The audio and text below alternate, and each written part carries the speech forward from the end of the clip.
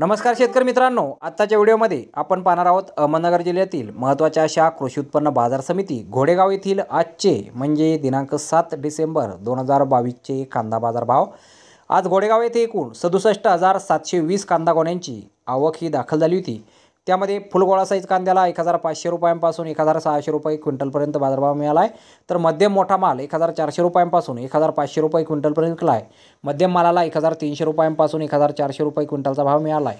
गोलटी कांदे चारशे रुपयांपासून सहाशे रुपये क्विंटलपर्यंत विकलेत. तर गोलट्या कांद्याला पा सातशे रुपयांपासून एक हजार रुपये क्विंटलचा बाजारभाव आज गोडेगाव येथे मिळालेला आहे.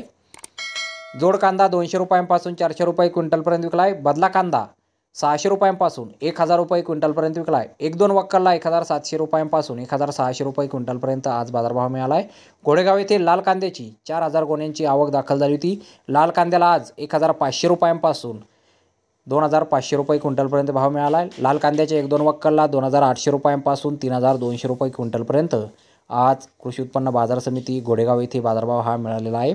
तर धन्यवाद शेतकरी मित्रांनो. व्हिडिओ शेवटपर्यंत पाहिल्याबद्दल व्हिडिओ आवडल्यास व्हिडिओला लाईक करा शेअर करा चॅनलला सबस्क्राईब करा. पुन्हा भेटू अशाच एका नवीन व्हिडिओमध्ये. जय जवान. जय किसान.